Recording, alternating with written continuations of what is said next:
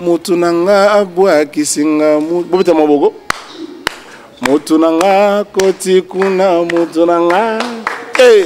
motu na nga masole motu na nga c'est-à-dire mobulu eza na koyako na kati ya mbulu ya mobulu mpenza na ndenge ya moke te motu na nga oh, nikuna motu na nga donc deuxième épisode avec masola quoi Donc système à ba couleur l'équipe qui gagne quoi. Ah oui, ah oui, ah oui. Eh wapi masola. Ah oui, ah oui, ah oui. Masola kolo masolo. Mais eloko penya oyo lelo c'est événement ya like masolo ya maboka masola.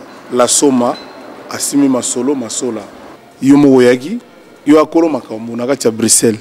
na kati ya lola eyaka yo toyebi toyokaka tomonaka mpe tondima na biso mpo biso toatalaka to wana problème te ya kondima lelo ebimi ke masolo elaka masola yo moko oye omoni ovivre na abele akoloba te Here we go.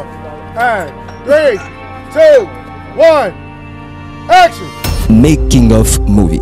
Making of Movie est une émission conçue dans le souci de pouvoir enrichir une fois de plus les réalités socio-culturelles ou faire vivre les différentes réalités qui se présentent derrière la caméra. Il y a trop de stress, il y a trop de caprices techniques, il y a trop de caprices au niveau de la conception, il y a trop de caprices au niveau de l'esprit, de la tempérance avec les artistes. Nous allons découvrir ce que le star vive, comment est-ce qu'il se comporte, comment est-ce qu'ils sont, avec une équipe technique de professionnels, avec la maison MHV, Massola Homme Vidéo.